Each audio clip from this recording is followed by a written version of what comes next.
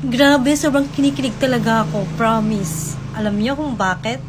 So, ito yung dahilan, ang BTY Advance. Di ba ito yung trending sa TikTok? So, nung makita ko ito, agad akong napa-order. Kasi sabi daw, ito ay uh, nakakatanggal ng mga old scars, mga peklat, at mga varicose. So,